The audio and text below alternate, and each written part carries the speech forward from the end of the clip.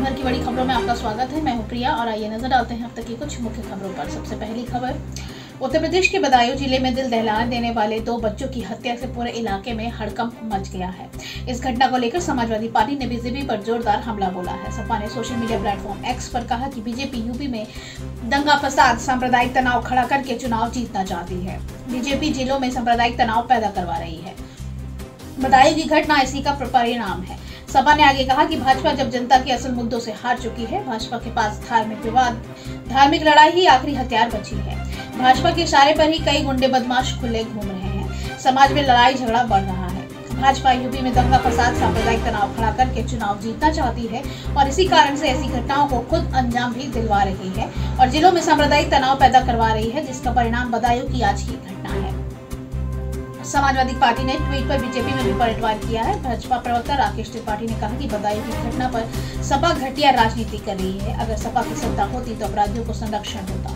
उन्होंने कहा कि योगी सरकार में अपराधियों के खिलाफ कठोरता से कार्रवाई हो रही है। बदायूं कांड में भी अपराधी के साथ पूरी कठोरता बरती गई है। बदायूं ज़िले में एक शख्स ने तीन बच्चों पर धारदार हथियार से हमला कर दिया। इनमें से दो बच्चों की मौत हो गई है, जबकि तीसरा बच्चा गंभीर रूप से घायल हो गया है, जिसका अस्पताल में इलाज चल रहा है। पुलिस ने दिल दहला देने वाली वारदात को अंजाम देने वाले आरोपी साजिद को एनकाउंटर में ढेर कर दिया है।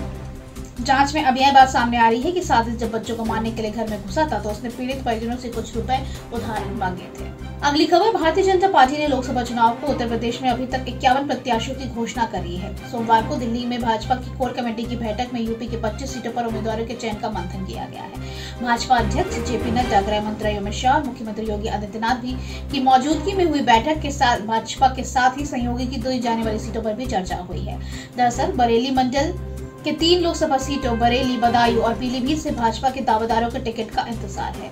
उम्मीद थी कि पार्टी की दूसरी सूची में सूची में इन सीटों पर प्रत्याशी तय हो जाएँगे, लेकिन ऐसा नहीं हुआ। बुधवार को दूसरी सूची जारी होने के बाद तीनों लोकसभा क्षेत्रों में बदलाव के कयास और तेज हो गए हैं। बरेली सीट से सांसद संतोष गंगवार की लगातार दसवीं बार उम्मीदवारी पर की उम्र आड़े आ रही है। सूत्रों के अनुसार हेमा मालिनी समेत कुछ अन्य नेताओं को टिकट मिलने का हवाला देकर वे अपने पक्ष में मज़बूत पैरवी में भी जुटे हुए हैं। वहीं बदायूं सांसद संघमित्र मौर्य ने उनके पिता स्वामी प्रसाद मौर्य के भाजपा के खिलाफ लगातार विवादित बयान से खड़ा कर रखा था।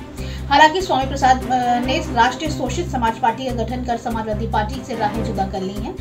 इसके ज़रिए संघमित्रा लगातार दूसरी बार टिकट हासिल करने की कोशिश में है। इधर पीलीभीत से पिछला चुनाव भाजपा से वरुण गांधी जीते थे, लेकिन कुछ दिनों बाद से उनके तेवर बदल गए हैं। अब वे कई बार अपनी ही सरकार के कटघरे में खड़े करते हैं और उनसे सवाल करते नज़र आते हैं। अभी तक इस सीट पर भाजपा के पत्ते नहीं खोले हैं। सपा और बसपा भी अभी चुप्पी साधे हुए हैं। हालाँकि टिकट के लिए बढ़ते इंतज़ार के बीच वरुण के बोल बदले हैं। पिछले दिनों पीलीभीत में मिली सौगात पर उन्हें वर्चुअल कार्यक्रम के दौरान प्रधानमंत्री मोदी का आभार भी जताया अगली खबर, दिल्ली के मुख्यमंत्री अरविंद केजरीवाल को ईडी द्वारा भेजे गए समय में हाईकोर्ट में चुनौती दी है। सीएम अरविंद केजरीवाल ने हाईकोर्ट में याचिका दायर की है। केजरीवाल की याचिका पर हाईकोर्ट में सुनवाई हो रही है। उन्होंने ईडी के समन को गैर कानूनी बताया है। दिल्ली उच्च न्यायालय ने दिल्ली के मुख्यमंत्री अरविंद केजरीवाल द्वारा एजेंसी उन्हें एजेंसी द्वारा उन्हें किए जा रहे कई समन को चुनौती देने वाली याचिका पर प्रवर्तन निदेशालय से जवाब मांगा है। कोर्ट ने सुनवाई की तारीख 22 अप्रैल 2024 की तय की है। मंगलवार की याचिका में केजरीवाल ने तर्क रखा है कि सभी समन गैर कानूनी है और निचली अदालत की ओर से उनके खिलाफ नोटिस जारी किए जाने के बावजूद ईडी व सीबीआई बार बार समन जारी कर रही है। यह मात्र राजनीतिक रूप से किया जा रहा है। ईडी ने निचली अदालत में कहा था कि केजरीवाल को आठ बार समन जारी किया गया है, लेकिन वे इसका अनुपालन नहीं करते हुए भी एक बार भी पेश नहीं हुए हैं। इसको लेकर उनके खिलाफ कानूनी कार्रवाई की जाए। उस मामले में केजरीवाल अदालत में पेश होकर जमानत ले चुके हैं। केजरीवाल के खिलाफ नौवा समन हाल ही में जारी किया गया है। मजिस्ट्रेट की अदालत में ईडी की दो शिकायतों पर समन जारी किया गया था। पहली शिकायत पर सुनवाई के दौरान अतिरिक्त मुख्य मेट्रोपॉलिटन मजिस्ट्रेट दिव्या मल्होत्रा ने टिप्पणी करते हुए कहा था कि केजरीवाल ईडी के समन का सम्मान करने के लिए बाध्य है। धन संशोधन अधिनियम के तहत समन जारी होने के बावजूद जाँच में शामिल होने में बार बार विफल रहने के बाद ईडी ने केजरीवाल के खिलाफ अदालत से शिकायत की है।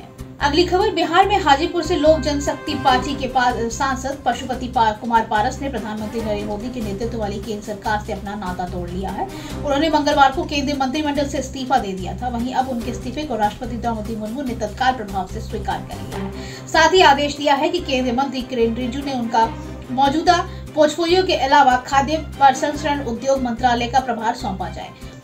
राष्ट्रपति भवन ने बुधवार को कहा कि पृथ्वी विज्ञान मंत्री किरेन रिजिजू को खाद्य प्रसंस्करण और उद्योग मंत्रालय का अतिरिक्त प्रभार सौंपा जाएगा। पारस ने मंगलवार को केंद्रीय मंत्री पद से इस्तीफा दे दिया था। उन्होंने भारतीय जनता पार्टी पर बिहार में लोकसभा चुनाव के लिए सीट बंटवारे पर बातचीत में अपनी राष्ट्रीय लोक जनशक्ति पार्टी को शामिल नहीं करने के उनके साथ नाइंसाफी का आरोप लगाया था।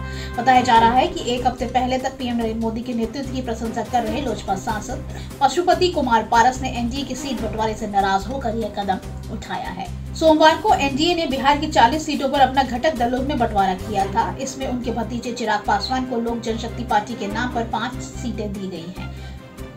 चिराग और पारस दोनों हाजीपुर से चुनाव लड़ना चाहते थे और यह मौका अंततः दिग्गज रामविलास पासवान के बेटे चिराग को दिया गया।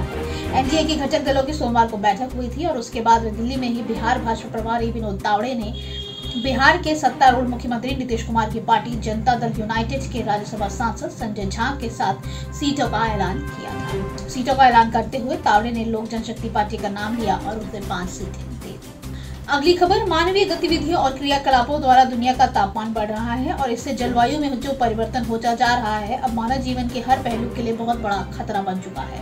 एक नई रिपोर्ट में दावा किया गया है कि जलवायु परिवर्तन का खतरनाक प्रभाव गंगा सिंधु और ब्रह्मपुत्र सहित दक्षिण एशिया की प्रमुख नदी घटियों घाटियों पर महसूस किया जा रहा है। इसके साथ ही यह भी बताया गया है कि मानव ज, मानव जनित गतिविधियों और जलवायु परिवर्तन के कारण एक अरब लोगों को गंभीर परिणाम भुगतने पड़ सकते हैं। हाईवेटिंग river basin governance and cooperation in the एकेच रीजन रिपोर्ट में कहा गया है कि इन तीन नदियों पर नदी बेसिन प्रबंधन के लिए जलवायु लचीला दृष्टिकोण अपनाने की तुरंत ज़रूरत है। बता दें कि हिंदू, कुश, हिमालय, दक्षिण एशिया और दक्षिण पूर्व एशिया के कुछ हिस्सों के लिए मीठे पानी का स्रोत है। उनकी बर्फ़ ग्लेशियरों और वर्षा से उत्पन्न होकर एशिया के 10 सबसे बड़ी नदी प्रणालियों को भारत को भरता है। गंगा भारतीय उपमहाद्वीप में 60 करोड़ से अधिक व्यक्तियों के लिए पवित्र व आवश्यक मानी जाती है। अब यह भी बढ़ते पर्यावरणीय खतरों का सामना कर रही है। तेज़ी से औद्योगिकरण, शहरीकरण और गहन कृषि प्रथाओं के नदी की पारिस्थितिक स्वास्थ्य पर एक टोल लगाया है। रिपोर्ट में कहा गया है कि सीवेज और औद्योगिक कचरे पर पानी को गंभीर रूप से प्रदूषित कर दिया है, जिससे मानव स्वास्थ्य और पर्यावरण दोनों के लिए जोखिम पैदा हो गया है। इन मानव जनित गतिविधियों के साथ साथ जलवायु परिवर्तन के प्रभाव मौजूदा चुनौतियों को बढ़ा रहे हैं। विशेष रूप से बाढ़ और सूखे के रूप में। अगली खबर, मथुरा ज़िले के बरसाना में राधा रानी मंदिर में लड्डू की होली का आयोजन के दौरान भारी भीड़ के कारण रेलिंग टूटने से हुए हादसे में 25 श्रद्धालु घायल हो गए हैं। मंदिर में एक पुजारी ने संवाददाता को बताया कि शनिवार को शाम को हज़ारों की संख्या में श्रद्धालुओं के आने से मंदिर में सीढ़ियों पर लगी रेलिंग से उनका दबाव नहीं झेल सकी और वे टूट गई। इससे कई श्रद्धालु नीचे गिर पड़े, जिससे भगदड़ मच गई। इस घटना में पच्चीस श्रद्धालु घायल हो गए हैं। ये श्रद्धालु कई घंटों से मंदिर के पट खुलने का इंतज़ार कर रहे थे। प्रत्यक्षदर्शियों के अनुसार भीड़ का दबाव बढ़ने से एक कारण यह भी था कि बड़ी संख्या में श्रद्धालु लड्डू लूटने में लगे थे। पुजारी ने बताया कि घायल श्रद्धालुओं को सामुदायिक स्वास्थ्य केंद्र ले जाया गया है। उनमें से एक को KG medical college and hospital तथा चार को जिला अस्पताल ले जाया गया है। इस घटना में एक महिला की मौत की खबर भी आई थी, लेकिन जिला प्रशासन ने उसे गलत करार दिया है। उसका कहना है कि महिला की मौत इसी घटना से कोई संबंध नहीं आखिरी खबर, प्रधानमंत्री नरेंद्र मोदी भारत मंडप में स्टार्टअप महाकुंभ में शामिल हुए हैं। प्रधानमंत्री नरेंद्र मोदी ने कहा कि देश के स्टार्टअप इंडिया अभियान के तहत इनोवेटिव आइडिया को एक प्लेटफॉर्म दिया है। उन्होंने फंडिंग के सोर्स से कनेक्ट किया है। इससे आज पूरा देश गर्व से कह सकता है कि हमारा स्टार्टअप इकोनॉमिक्स सिर्फ़ बड़े मेट्रो शहर तक सीमित नहीं है। भारत की स्टार्टअप क्रांति का नेतृत्व देश के छोटे शहरों के युवा भी कर रहे हैं। स्टार्टअप महाकुंभ में प्रधानमंत्री मोदी ने कहा कि हर क्षेत्र में नौजवान आइडिया लेकर आते हैं। कम से कम रिक्वायरमेंट के साथ वे काम करते हैं और इसी ताकत से, इसकी ताकत बढ़ाई है और यही सपने हैं। यही शक्ति है, इसीलिए लोग कहते हैं कि मैं इसे नष्ट करूँगा। मोदी ने कहा कि हर क्षेत्र में नौजवान आइडिया लेकर आते हैं। कम से कम रिक्वायरमेंट के साथ वे काम करते हैं और इसकी ताकत बढ़ाते हैं। प्रधानमंत्री मोदी ने आगे कहा कि दो से विकसित भारत के रोडमैप पर काम हो रहा है। ऐसे में ऐसे समय में स्टार्टअप महाकुंभ का कई महत्व है बीते दशकों में भारत ने आईटी और सॉफ्टवेयर सेक्टर में अपनी छाप छोड़ी है। अब हम भारत में इनोवेशन और स्टार्टअप कल्चर का ट्रेंड लगातार बढ़ाते हुए देखा जा रहे हैं। केंद्रीय वाणिज्य एवं उद्योग मंत्री पीयूष गोयल ने कहा कि स्टार्टअप महाकुंभ में भारत के अभिनव प्रतिमा कैन डू स्पिरिट और प्रभाव के प्रबल इच्छा शक्ति का एक प्रतीक है। इक्कीसवीं सदी स्टार्टअप की सदी है और स्टार्टअप इसे भारत की सदी बनाएगा, ये मेरा पक्का विश्वास है। आज के लिए बस इतना ही। बाकी खबर जानने के लिए देखते रहिए द पब्लिक इंडिया धन्यवाद।